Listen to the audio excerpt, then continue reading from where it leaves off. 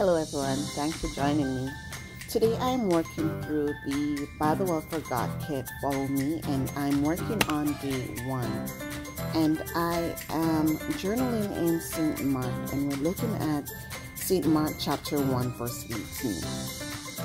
And it reads, And straightway they forsook their nets and followed him and that's the King James Version. I want to quickly jump over to the ESV version and I want to read that translation for you as well. And immediately they left their nets and followed him. This was Jesus offering an invitation to his first set of disciples to follow him. And they immediately went with him. They left everything behind their jobs, their families, follow someone who they don't know. They may have heard about him and and the role he was to play as their savior. Now with this invitation, Jesus was showing what Christianity was all about. Following Jesus.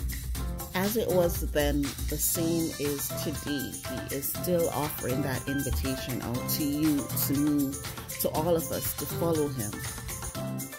I love the questions that were asked at the end of day one. They were Can you imagine yourself in a position where you would leave your life and follow another?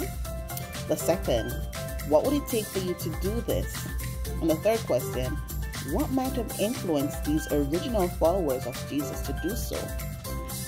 What would have been your response to these questions?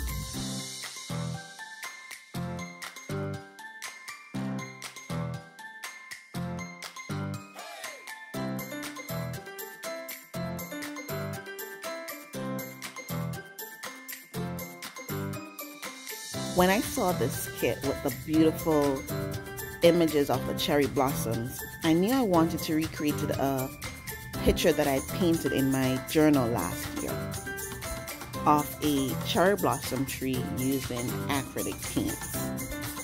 When I first started, I really was not sure how it was going to turn out. But in the end, I, I, I'm pretty pleased with what it looked like. like I started out by applying some Distress Oxide to my background. Then I took a pencil and I loosely traced my trunk and my branches where I would want them to go. I then painted in the trunk and the branches with some brown acrylic paint. Then I got my Q-tips, I got a bunch of them, eight, and I held them together with a rubber band.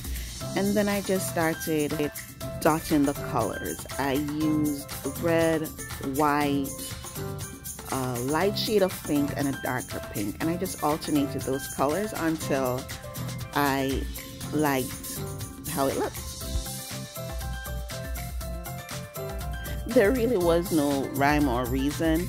Again, some places were lighter, some places were darker. I was just going for different shades of pinks to mimic um, cherry blossom tree. I typed a quick prayer on one of the journaling cards and went ahead and add some finishing touches.